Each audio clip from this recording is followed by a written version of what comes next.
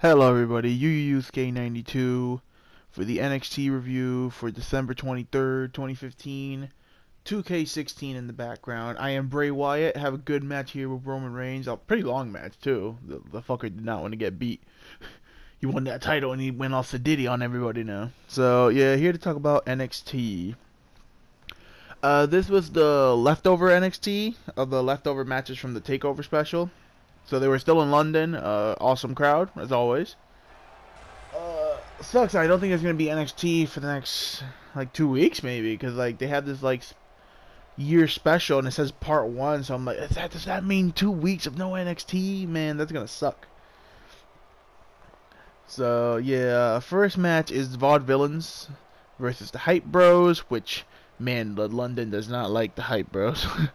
versus Blake and Murphy with Alexa Bliss versus Jason Jordan and Chad Gable, which were over as over can be. Like these guys got a fucking 90 hour chant to their name. That was pretty great.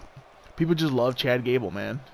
And I'm very happy Chad Gable got a lot of time in the ring. He got to show like, you know, he he did more than his usual stick of wrestling stuff, so that was really awesome. I, I like the villains They were dressed as uh, Sherlock Holmes and like his sidekick. That was that was pretty cool. I thought that was kind of cool.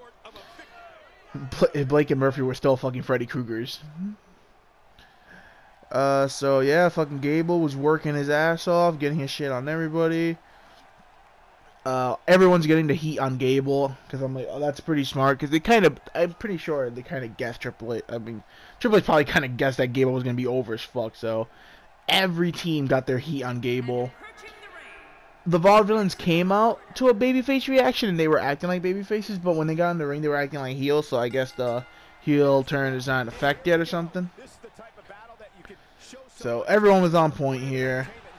Fucking Jason Jordan gets the hot tag, and man, this guy hits every single version of a Tazplex you could think of. Taz is probably like happy as fuck right now.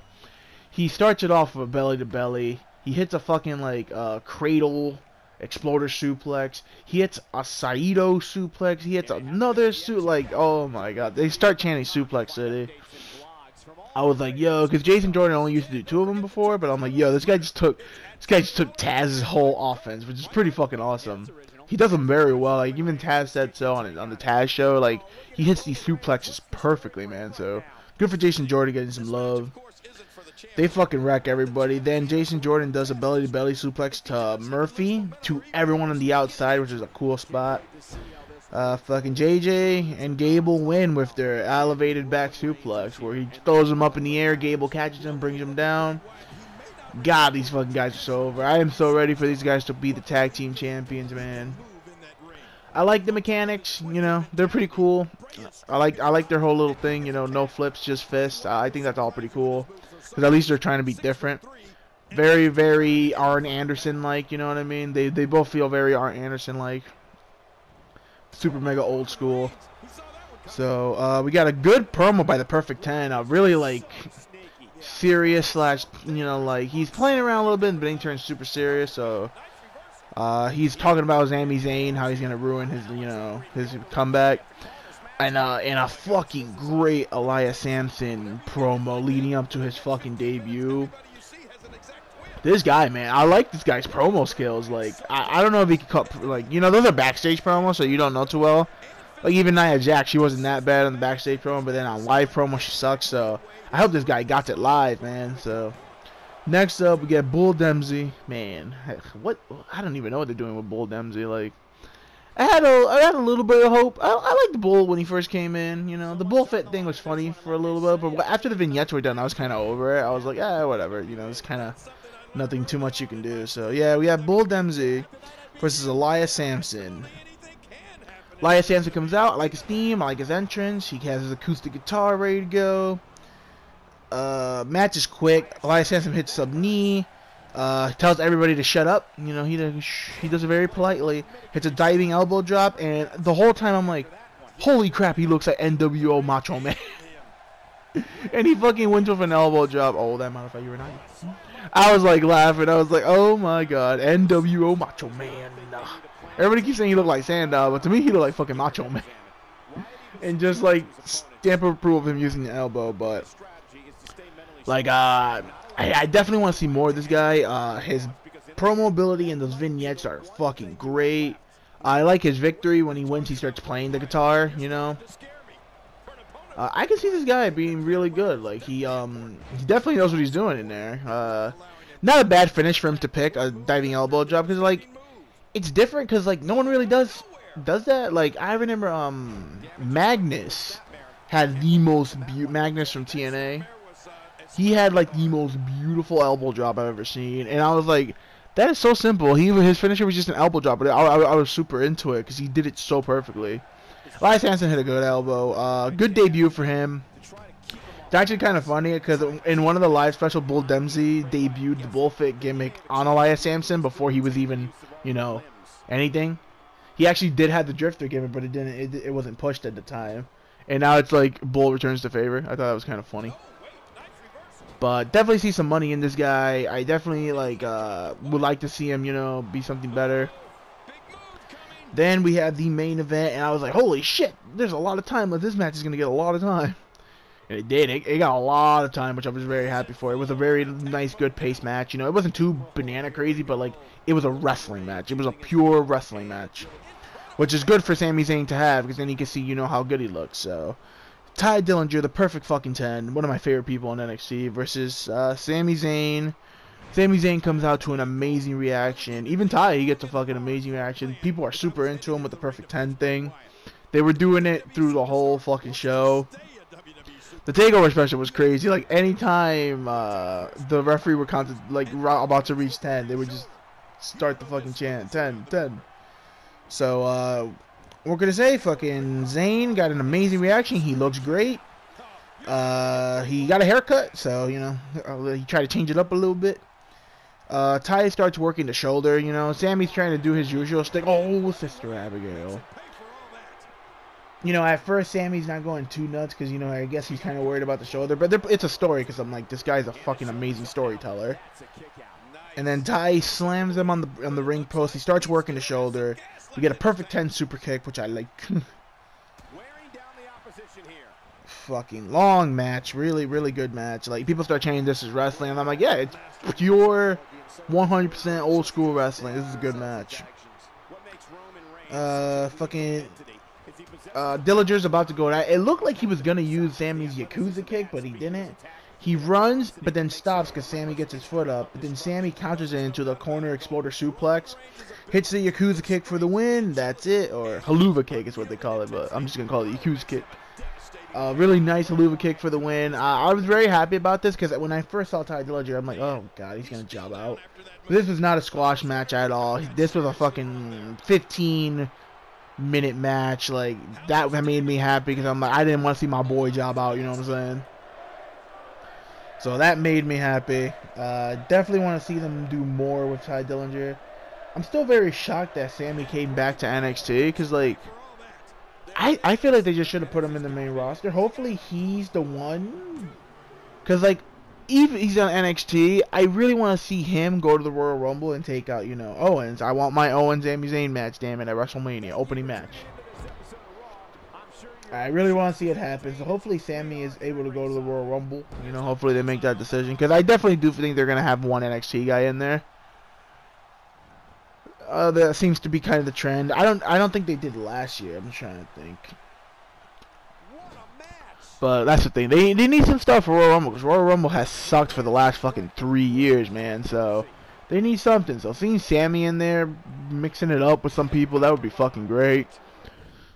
So uh, they actually, uh, I was like, oh, well, there's still some time left. What the fuck's going on? It's Kevin Owens coming back to attack Sami Zayn. But no, they actually played Sami Zayn's, like, four-minute promo that he caught on the crowd, which is pretty awesome. He talks about, you know, it's great to be back. He talks about, uh, like, how happy he is and how... He says uh, it was really cool to see 10,000 people sell at the stadium. The people start a 10 chance. I'm like, even in defeat, this man is still over.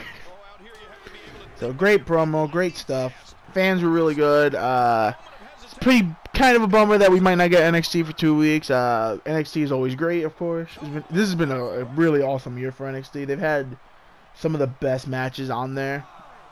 That's like some of the best matches WWE's had in a long while. You know, Sasha Banks and fucking um Bayley, of course. Sasha Banks and Bayley, the other one. Finn is always, you know, excellent at pay-per-views. That Finn ladder match with Owens, the Finn match with Owens and uh fucking Tokyo was fucking amazing. I rewatch that shit all the time. He has some good stuff this year, so that's it for me. I'll catch you guys next time. Like, subscribe, and all that shenanigans. Enjoy the rest of the match. This is actually a pretty good match. I'm doing my best to like destroy Roman Reigns with Bray Wyatt, the Eater of Worlds, the new face of fear. So enjoy that. Catch you guys next time. Peace out.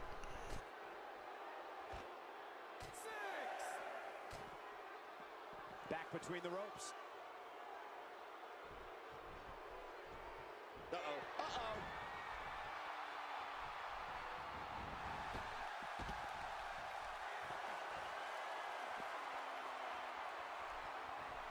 Great one-on-one action here tonight. It doesn't get much better than this. This may settle the score right here.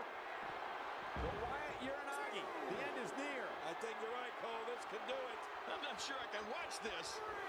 Stay down. Stay down.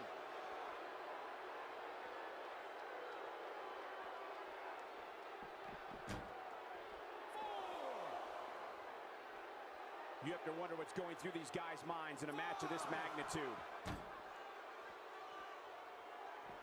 Look at that reversal. What strength.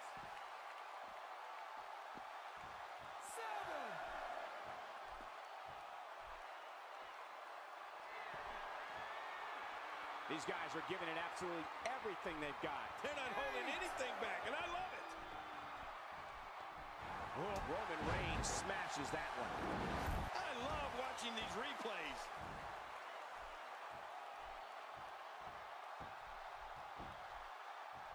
The shoulders are down.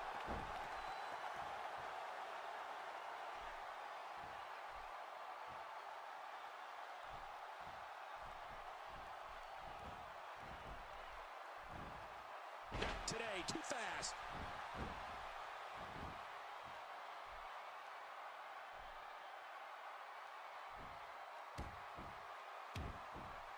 No love lost between these two. Whoa, there's no wasted movement. Anytime you can string offense together like that, it helps confuse and dismantle your opponent. Showing a great deal of faith and trust in that move. His chest may be black and blue after this.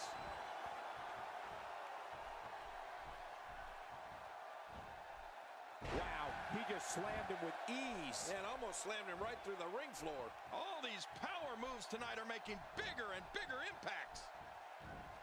He's inflicting some serious pain here. Even if you can get back to your feet after a move like that, at this stage of the match, you're still struggling to find your balance.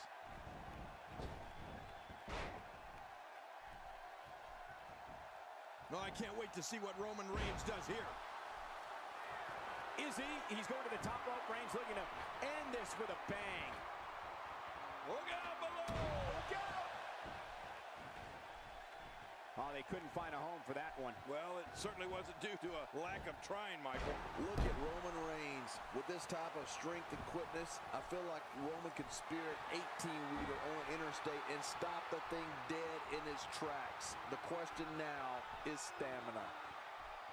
Superman punch. No kryptonite in sight. Oh, man, like a bird, a plane up in the air. What a Superman punch. Here's the cover.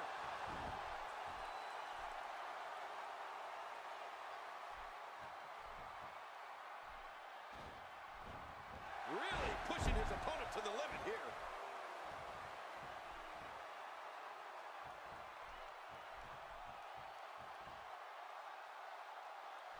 Here we go. Bray Wyatt setting it up. Bray Wyatt's going to finish him right here, right now. Oh, it doesn't look good for Bray Wyatt's opponent. Look away, Michael. This could be ugly. Bray Wyatt may get this one. And now Bray Wyatt could have this match in the bag. Makes the cover.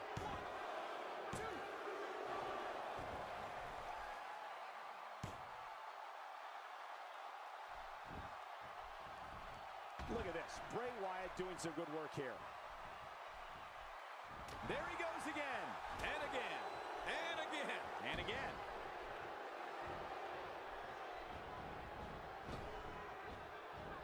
Looks like he's pinpointing the back. He's really been zeroed in on, but he's still showing some signs of life.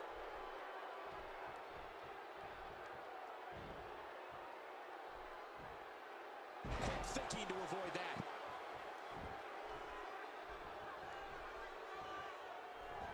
When I see him attack the arm, it reminds me of how WWE Hall of Famer Arn Anderson would incapacitate an opponent's arm. Yeah, they actually should have called him Arm Anderson.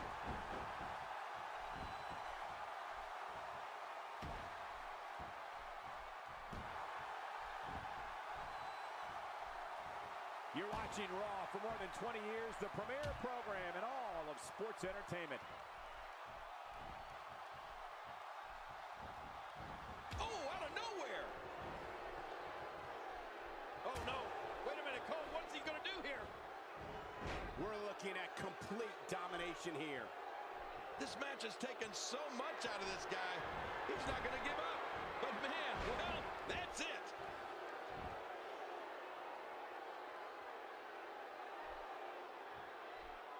Boy, he just got laid out. Oh, he's in trouble now. Here we go, Bray Wyatt. Oh, Bray Wyatt. Bray Wyatt. Could this be it? I think so. He did it. What a huge win.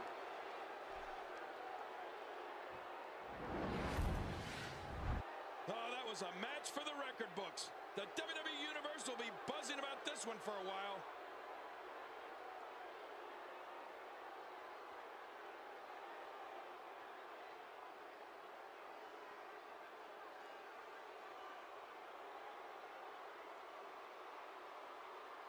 There was no love lost in that match. And look at the impact in these highlights.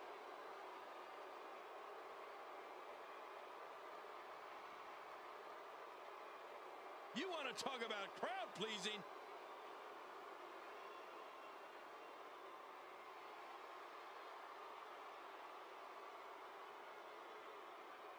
You want to talk about incredible high impact sports entertainment?